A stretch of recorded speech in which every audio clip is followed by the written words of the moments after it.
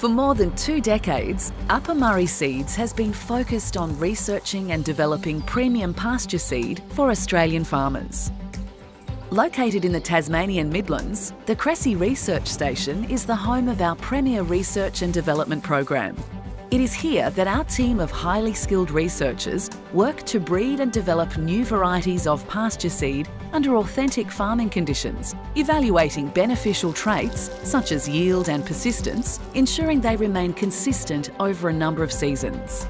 New lines are constantly evaluated with only the best cultivars collected for early seed generation and basic seed production. Trials are sown alongside both experimental and competitive varieties in fully replicated trial plots, then cut every two to four weeks and assessed under strict research protocols. Upper Murray Seeds work with international researchers to collaborate on complex multidiscipline seed breeding challenges suited to variable climates and conditions faced by farmers around the globe.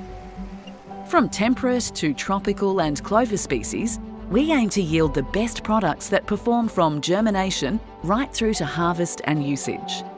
The future of Upper Murray Seeds is both challenging and exciting as we continue to lead the way through research and innovation to help grow your business.